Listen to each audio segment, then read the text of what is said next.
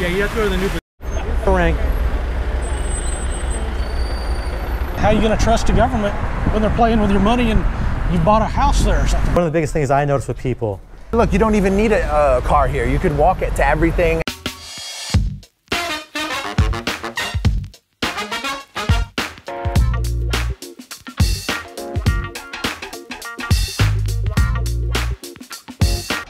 Yo, it's the Jaru, the damager of travel blogging.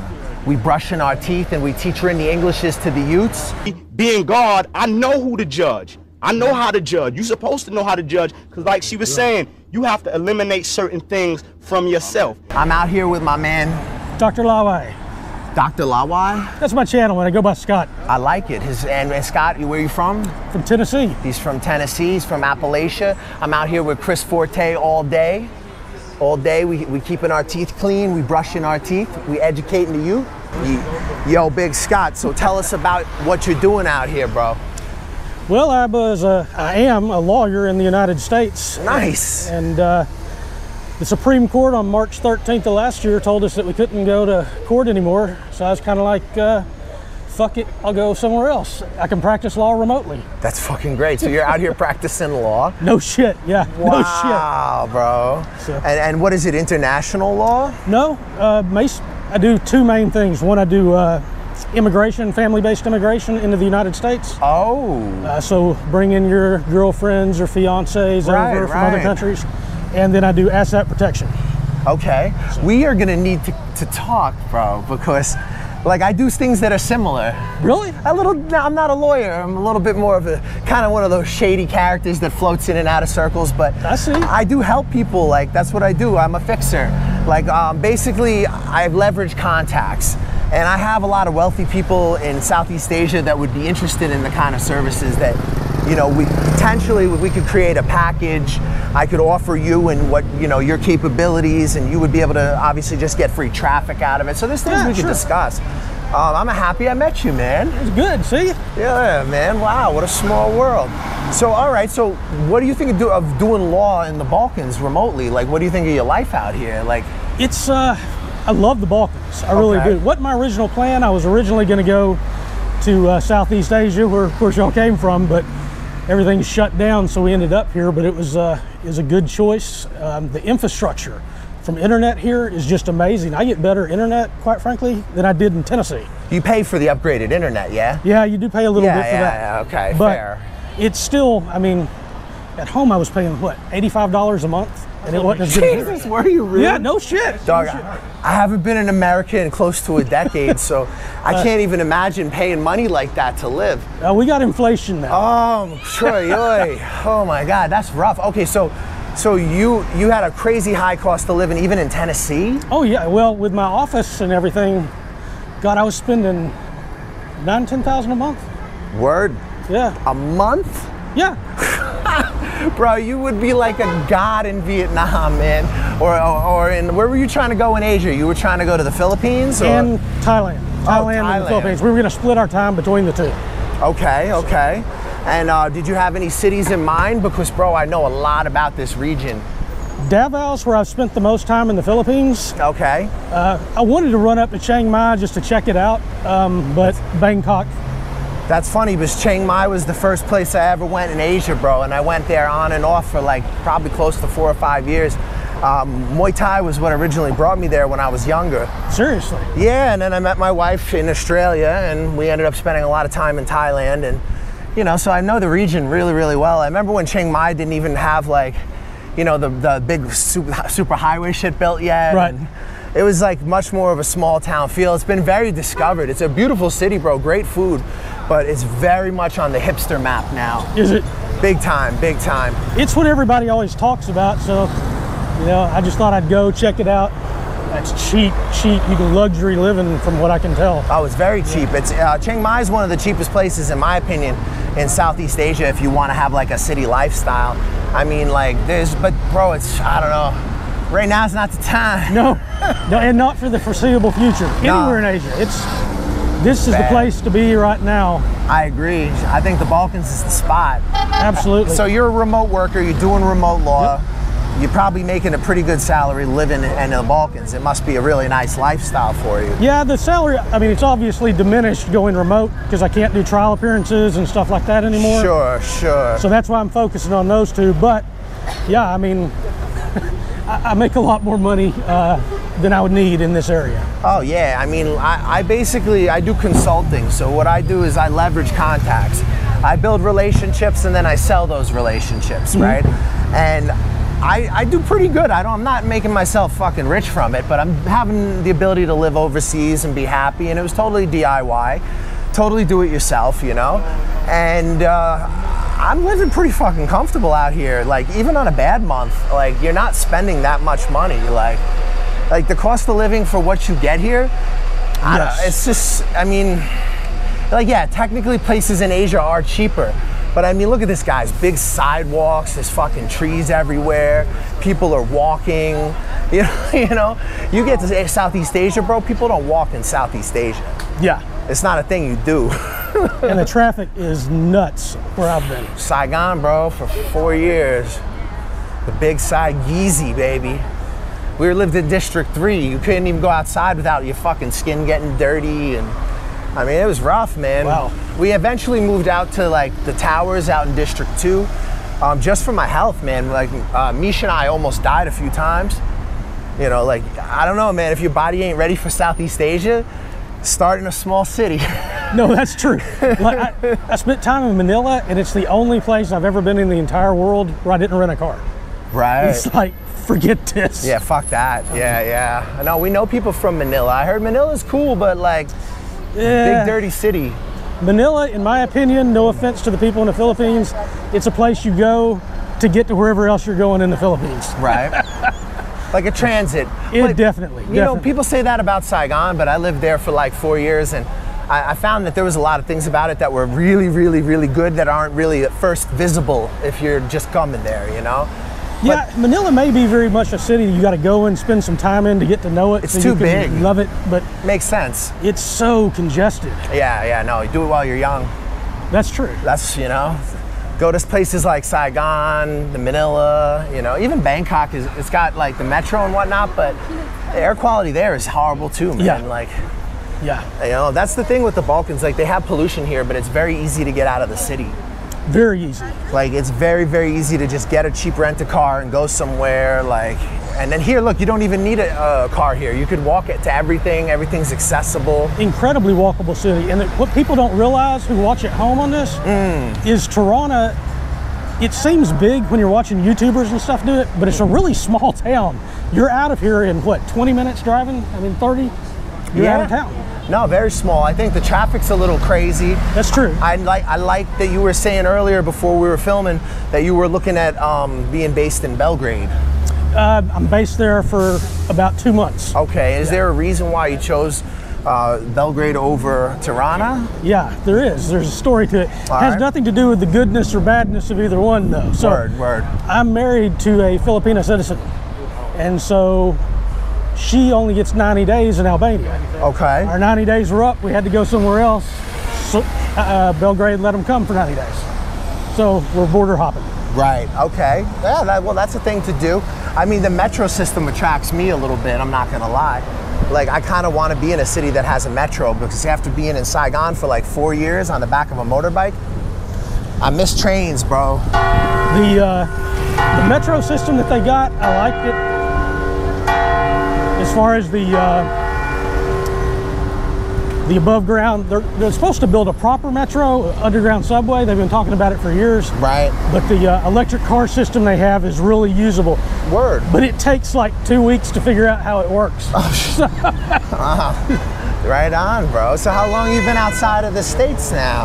I left in April. Like, that's it? First That's time? That's it. That's it. Wow. It took. So they shut us down. Uh, Supreme Court shut us down. Yep. You were practicing law. Yeah, Yep. in March, and uh, I had a house to sell. I had all my stuff. So I sold every damn thing I had. And, Okay. uh, banked it and took off, but it takes a while to do that. Plus, I had trial practice I had, even though we weren't having trials, I had to get those people other uh, attorneys. Wow. All right, so this is all new, man. This is Yeah. like a new fucking outside of the, uh, the Matrix. Yeah, it's a new chapter. Whoa. I'm, what is it, red pilling now? I'm telling you, man, like after you get outside of the States, you start to realize how like almost everything they promise you there is a fucking lie. That's true. You have real freedom in these countries. Like, I mean, you might have some adjusting to do, you know, but I think you get a really good lifestyle for, you know, the trade offs are worth it to me. Like, I don't want to live in America ever again. I mean, I've been outside for nearly a decade now. If I had to go back, I think my head would fucking explode. No, I understand it. The, the funny thing about, same way in Asia as it is here in the Balkans, Right. they'll have crazy laws on the books, Okay. but nobody cares about them. Right, They- right, right. I mean, I mean, you look around here. Look, nobody's dealing with uh, the worldwide issues and stuff that are going on. Everybody's No. just living free. You know? it's a, it's a very, very relaxed, different type of energy. yeah, But you know, I was in Vietnam and it was sort of the same until they went completely insane. And now they got the military out in the streets and like they got fucking people having their food delivered by military one day, one day the ward boss, one day the military. They can't figure out what the fuck they're doing. They're coming or going. People are freaked out because like one of my homeboys, he was writing to me when I was meeting you guys. He's Vietnamese, and he was saying, can't go outside, can't buy food, can't buy water, has to wait for it to be delivered by either a ward boss or the military. And here we are walking down the street, everything's open. yeah. I mean, it's this absolutely, in my opinion, right now, is the place to be if you're wanting to go somewhere else. Oh, yeah. outside the United States, which for me, Absolutely January warranted. 28th. Have you been up to um, like Ukraine or any of these places? no, That's my summer plan.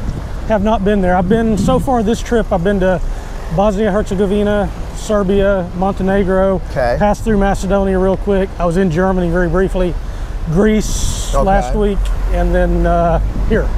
Well, I'll say this, man. I haven't been to that many places here yet, but I've been mostly putting time in here in Tirana and some time in Macedonia. Macedonia is definitely worth going back to. That's a nice place. I'm going in a few days. I hope to spend some time there and check it out. Yeah, I mean, Skopje is a trip, man. That place, like, really is pretty crazy. I liked it a lot. Um, I, I seen a little bit of uh, Awkward, and that was really, really good. Like, you know, castle, this type of shit, like medieval city. Uh, older than medieval, but I think, like, the current structures are, like, something like that.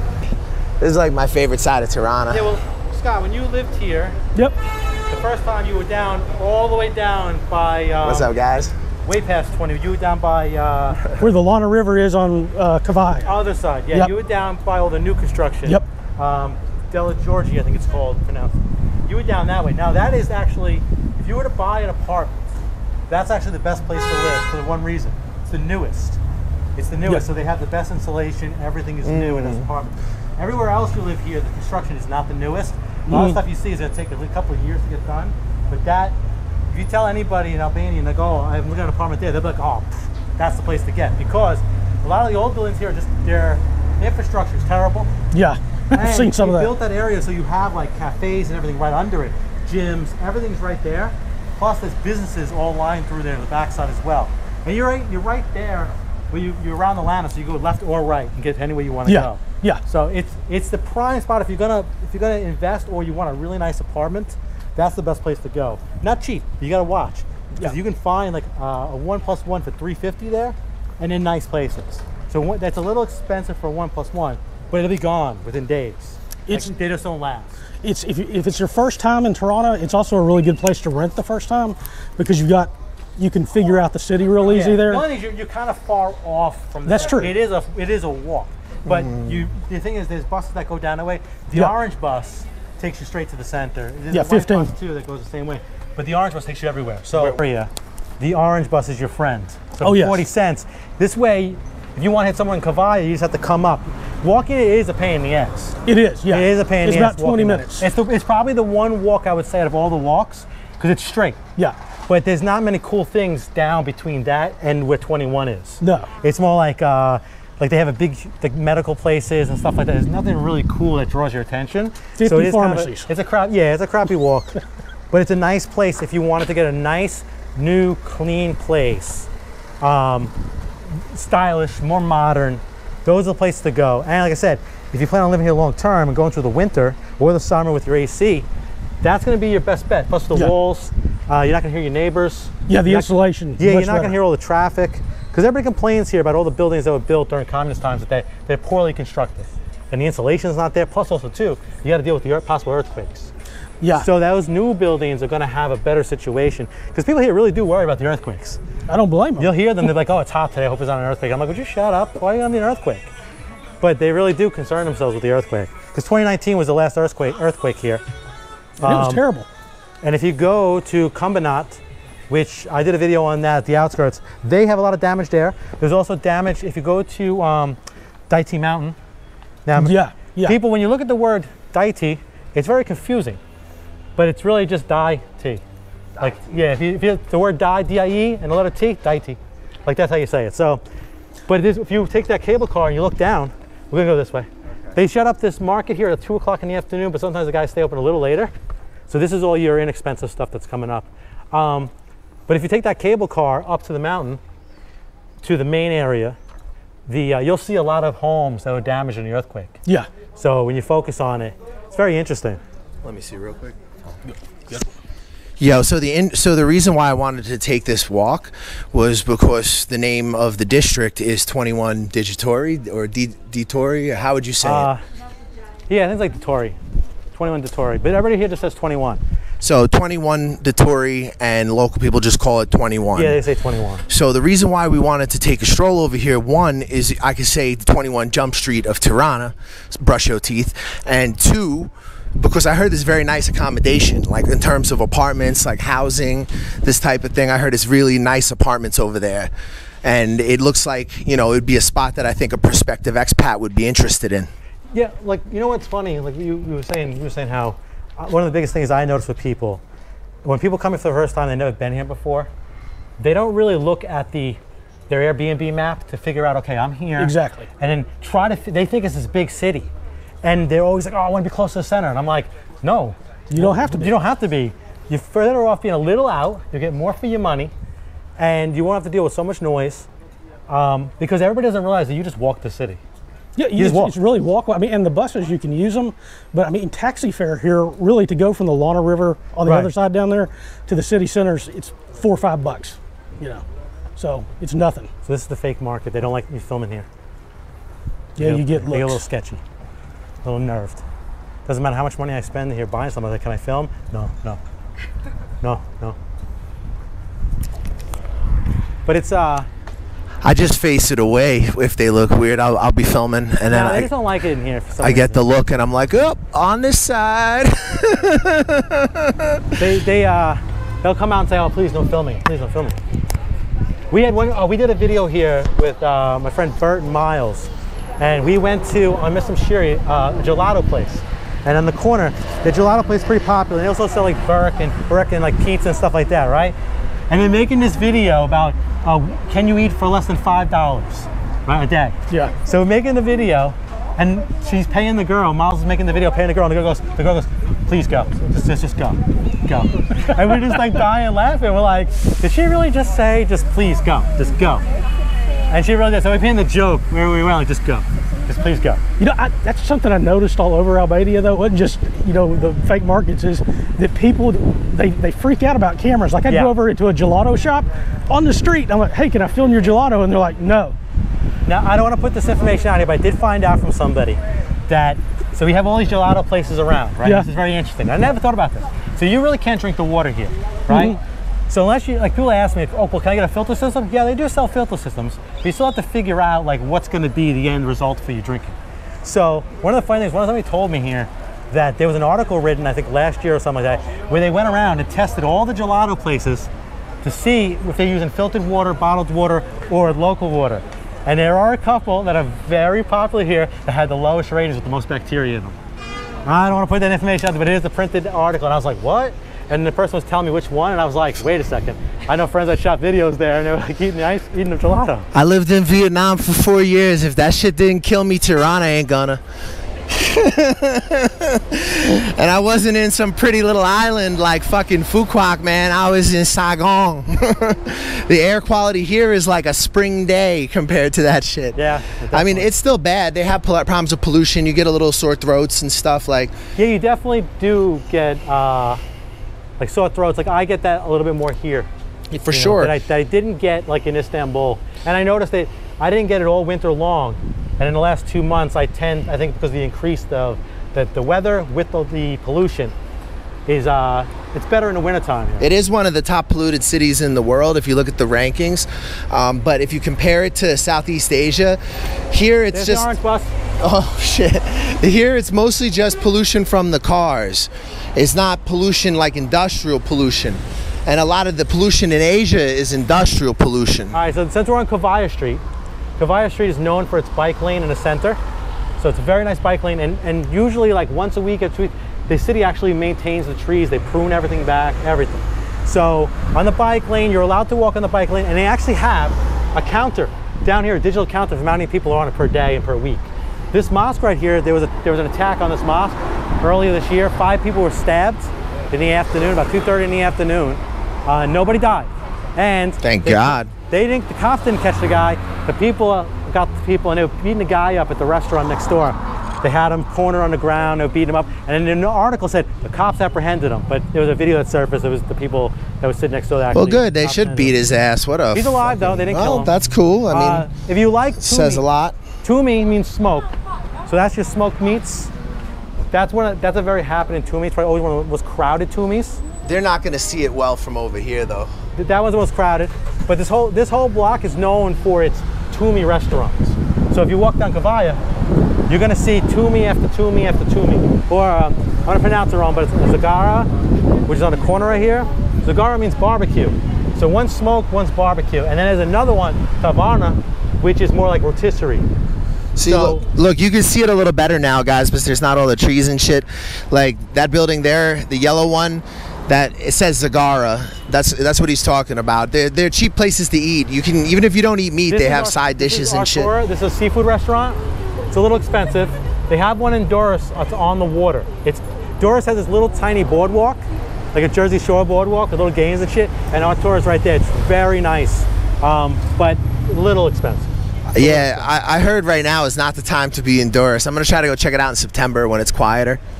I think it sounds like uh, off-season travel is better in Albania. This Toomey King Pills is the legendary T- Toomey King Pills. That's like the, the famous one of them. Okay. But the one down there, next to the mosque, is the one that's always much more packed. Oh, so So but- you'll right. get locals, Makes even foreigners that come here will argue which their favorite toomey is Okay. because you go for like the lamb chops and stuff like that, um, or you know your fresh smoked goat, whatever sheep, a lamb. You go for your uh, people compare the chafta, like who, who has the better chafta.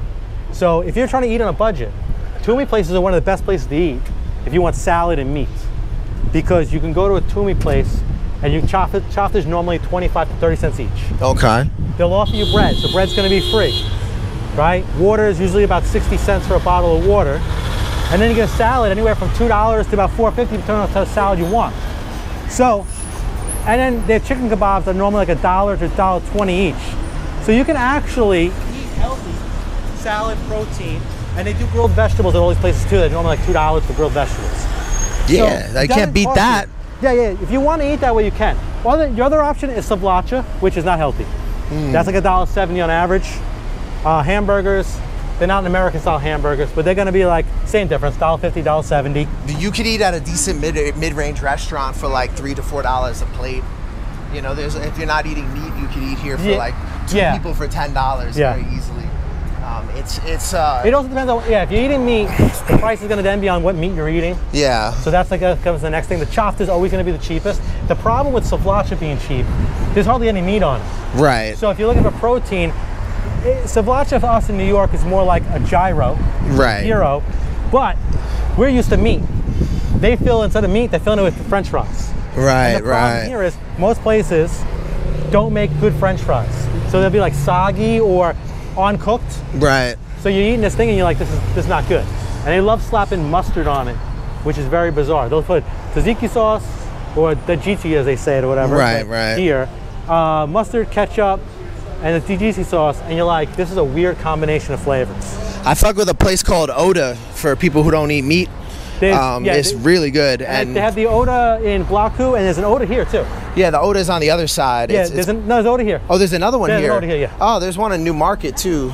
This place has probably some of the most most restaurants. Actually, this block has the most restaurants. Yo, let's come over here again then. Shit, I've been trying to eat here for a minute. Every time I come over, there's like something happening, like they're closed early or. And then another good thing here is like fruits and vegetables. Like you'll have these alleyways where the whole street is just fruit and vegetables. Word. The whole entire thing going straight. And this one goes straight through to. Uh, it doesn't go straight to the Mr. Shiri. You'd have to go a side street. But it eventually will go to Myslym Shyri if you. Want. You have to go through the back. Yeah, the ones up there go straight through. You do a little bit of this. Well, up here you really can't make a lot of straight cut throughs. Down there you can, Hmm. because here's how like if you rent an Airbnb, a lot of times you're going down a back alleyway to get to your door. Right. So a lot of these here are going to be those back alleyways. On, same back here. So if you're off, you got a listing that says off Kavaya Street. Right. It could be anywhere here, and you can honestly walk two to three minutes right. in a straight path just to get to your apartments. No, I like this neighborhood. When I first came out here, this is the the second choice for an apartment was like right around this neighborhood. But I wanted to go deep. I want to go right into the heart of 21 Jump Street right now, bro. We're gonna walk right into this motherfucker, like you know, like. Well, you might open. You mean it's Opus here? Opus here. So when is the district technically 21 Digitory? Or Uh, Digitory? it's When towards right on the end of the corner here. okay, so what are we now? This is like, is it, this? What would you call this district if you had to give it a name? There, I don't. There is no name. No name. See, that's the thing that fucking trips me out with Tirana, man. Is a lot of Only, these neighborhoods only don't. some neighborhoods have names. I noticed that, and they're not always specific. There's not always a reason why. No, but if you look at the map, they'll be boxed off. You know, like you have Don Bosco, you have Ali Demi, you have uh, Kuna Parisi, you have um, you have Blloku. Sure, But that's really it, and the rest are kind of sketchy of what they really are. They're the only ones that are kind of really blocked off of what you can look at the map and say, oh, okay, I'm standing in this area. Well, I mean, I find it fucking interesting, man. There's like, there's like so many like people who just identify where they live based on the name of the road. Like you're off, you know, the street that goes to Durrës, Albasani Street, you know. Right. So like, it's it's cool in a way, but it's definitely hard to organize your mind around, you know. Like, Right, because a lot of the streets can be very long, and if they don't tell you what they're by, you would mm-hmm. have no idea because they don't even know. Like, oh, I live 21 Kavaya Street. There is no 21 Kavaya Street, so you'd be like, oh, I live down by the Conad, by Kavaya. Oh, okay. So then you'd have to go down here by Conad and be like, all right, this is where I have to be. It's the same thing with delivery service for food and stuff here. Word. There is no like, oh, I live at this address. You just say, oh, I live across from this building, or I live at this building that has, you know, this sign on it. And they'll be like, oh, okay. Yeah, yeah, no, it's a trip. Because I'm used to in Vietnam, you would think, but when you first look at the place, there's like, no way this works. But they have like a ward system, a district system. And you know what's big here, believe it or not? They don't have Facebook Marketplace. Uh, what's big here? They don't have eBay either, really. You know what's big here? They sell on Instagram and they Yeah. deliver it to you. Yeah, So fair. it's just like delivery for food. So if you want clothes, like jewelry, whatever they sell, they the big thing here is Instagram because it's easy for them to promote it here because Instagram's kind of big here in a way. Right. Um, so yeah, you'll see people just roll up. If you live in a very populated area, like I live in Crystal Center, so everybody says, "Oh, I live in Crystal Center," and they go wait outside for the delivery guy to show up, whether it's food or whatever they're delivering. It could be the weed man, it could be anything. So everybody just shows up and they just stand there and they just stand there with their packages and wait for somebody to show up. Are you, uh, you got this? You got that? And you're like, yeah. Oh, now we got some break from that sunlight there, son. Oh my lord. I'm filming and I'm like, these motherfuckers are gonna be seeing sp- sunspots and all So kinds of here, shit. Here, behind here is all embassies. Oh, right on. So it's the Greek embassy, the Chinese embassy, the German embassy, and the block is there for the embassies. And there's a back alleyway right behind this restaurant that runs along the walls. I lived back there for six weeks. My neighborhood is also embassies, the US, the Italian. I live right behind the Italian, across the street from the US. Like, I don't know. I, I, I gotta say, I've never really seen a neighborhood full of embassies that's all that bad. No, Usually they're kind uh, of nice places. All the embassies here are from communist times. So Oh. very old. Very Wow. old. The security's very old. Now we had the election here in April, April 25th, I think the election was, and like two days prior to the election, I think two days after the election, Okay. all the embassies had extra added military security Word. because they were afraid that it was going to be sketchy because not that we should talk about politics, but the man did get elected to a third term. That's Oh, you could, yeah, not allowed. yeah. So it was not people a get mad at me. Sorry, guys, but people get mad at me when a lot of my Albanian uh, viewers that don't live in Albania, maybe they were born of Albanian blood, but they don't live here, haven't lived in a long time. They get mad when I say something about what's actually here on the ground. And I say, oh, come here, come here. We'll have a coffee together. And I'll, I'll let you meet other Albanians that actually live their whole lives here. And they'll have a different concept of what it is to live here versus whatever. So everybody's got their, their, their things, you know? Everybody's got their differences. And if there's like news sites you can follow, they follow all the corruption in this city or this country. And it's just like uh, just like what's illegal in America. It's all no bid contracts. They call Right. them tenders here. But they do research it. And some of them are astronomical, like the dumbest shit in the world. And it's always somebody's a somebody. And, you know, they get these multi-million. There's one with a candy that they're supposed to remove because the candy has plastic in it. Oh God. There's ice cream and everything has red, has red plastic in it, right?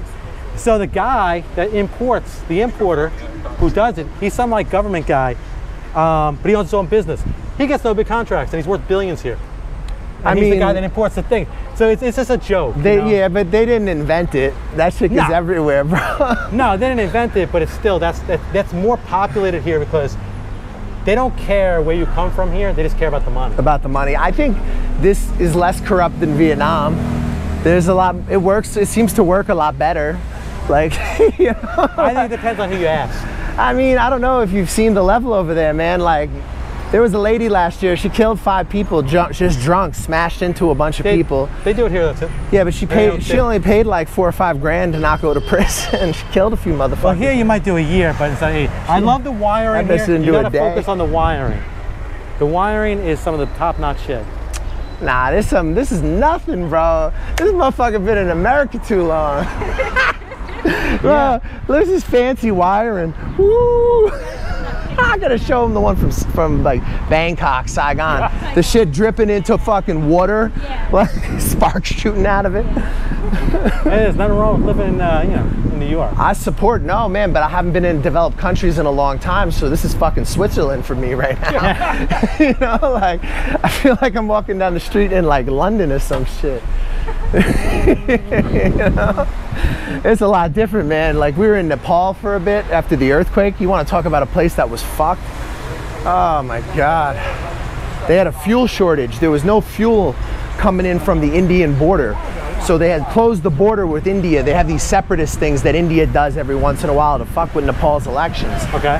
And they fucking closed it off. And there was petrol queues, bro. Like miles of motherfuckers sitting on cans waiting just to get some gas. Really? And yeah, bro, Red Cross tents everywhere. The fucking people living in, in the Chinese Red Cross shelters. It was fucking crazy. We were there like what two months after the earthquake, you know, and, we, and then we spent like a few months in Kathmandu. Have you, have you ever been to uh, Have you ever been to the Himalayas, bro? Nope, never have. Nepal was one of my stops if it hadn't been for COVID that I wanted to do though. So So how'd you end up in Albania? basically it was uh, I could come in, my wife could come in visa free, and uh, they were open during the pandemic. This is this is 21. Oh, This area is like 21. 21 Jump Street, son, yo. Everybody tuck their chain. But the street the street here is the corner. That's a, everybody identifies that as 21 on the corner. Okay. So like the malaria that's on the corner, that the location is known as 21. Yo, so it's like the 21 Jump Street of Tirana. We got like all kinds of craziness going on. It's just like everywhere you look, there's a Mercedes, somebody, you know, shining, flossing, and looking beautiful.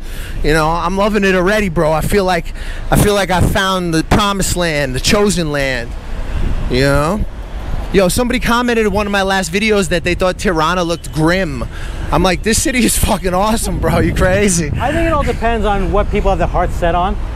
You know, I think some people Like- Set on my nuts. No, some people, you know, what it is? I was telling him about this because you know he was he was set on going to Southeast Asia. I was set on going to Southeast Asia, but there are people who are so their mind is so focused on Southeast Asia that they can't see anything else. You know, they don't realize that it's kind of closed off for them right now to a point, and or you know, there's lots of them data online. Yo, I'm telling you. And, and the girl, they like, oh, I- I'm starting over. I had to give her for, for ten thousand dollars, some shit like that. Southeast Asia is like what I do. It's my it's a big chunk of my business. And bro, that shit ain't gonna be cool for a minute. Like there is some discussion of trying to have things organized by October, but like we are talking about like a military police state situation in Vietnam right now. Like the military is literally delivering food in Vietnam. Like you can't go outside of the house at all. Like you can't go to buy water. You got to have it delivered. And then they're changing the rules every two days. Like people, one minute it's the ward boss who delivers the food. The next minute it's the military. So you know people are going to get forgotten. There's going to be a lot of people who don't get food. Yeah. and the situation is just going to get crazy. So if you're really content on Southeast Asia, listen, I love Southeast Asia. I sell Southeast Asia. It's a big chunk of my business. Wait a month or two fucking come to the Balkans and chill. And if you want to stay out here, I'll help you get residency. This is like what I'm doing out here, but it's good out here. Like you have a high quality of life for a very reasonable price. And look, we're on 21 Jump Street and nobody's even fucking hemmed us up or checked our pockets. Everybody's been super nice. Like people kind of like think it's weird that these weird fucking foreigners are filming themselves, but shit, it's fun. I'm loving I'm loving the the 21 uh, Digitori over here, bro. So is this the ring? No, ring is that way. Ring's uh, about ten minute walk that way. Okay, but doesn't the ring go all the way around? Like if you keep going down here, you're gonna hit the ring too? No. You can, yeah, you can hit the ring from here as well. Uh, actually, no, wait. I'm trying to think if you can hit the ring from here. It's more desolate down that way as far as it's just more like this is all shops. okay. So when you hit the, this is the actual ring now. Like the ring is here, so the big statue Okay. is here. So uh, Ruga Dorasi, Durrës Street, that hits there, and it's a big circle. And that'll take you to the bus terminal, the airport, Durrës in general. So here it takes a little further out. All right. So let's dip down an alley or something. Let's dip down a, a side street or uh, I don't know. Let's get let's go somewhere that is not the normal part. What's what's the main? Well, if you walk behind here, Okay. it's all residential, but um, it's very old back this way. Very old. A lot of be all residential, wrapping around this way. All right. So there's a ton of like cafes. They're all named like Villa with numbers. So All right. like, Let's go there Villa then. 21, Villa 7, Villa 8. Let's let's do that then. Let's do that. What do you think of when you think of Albania? I think of opportunity. I think of a country that's open. I think of a country that wants long stay expats, that wants people to come and invest, wants new ideas, and is looking towards the West. I think that Albania is a beautiful country with incredible landscapes that can offer a very comfortable lifestyle at a very reasonable price. We will help navigate your journey to becoming an expat in Albania. We're working with some of the top lawyers. We can help establish businesses. We can help you get your residency. We can help you get real estate. We can arrange almost any contact that you might need for the process of moving here in almost any city in the country. We will simplify the process. We'll make it a lot easier for you to move to a country that maybe in the past would have been more of a challenge. With our help, it's going to be a walk in the park.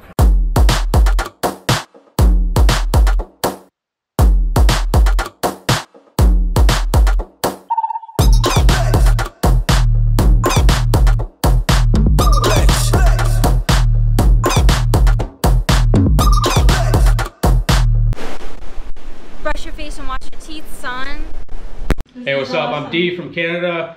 Hook up with the New York Nomad if you want a smooth ride into Vietnam or any Southeast Asian countries. Hey, my name is Aaron. Get in contact with the New York Nomads. If you want to get into Vietnam, hit them up. They'll get you in securely and professionally.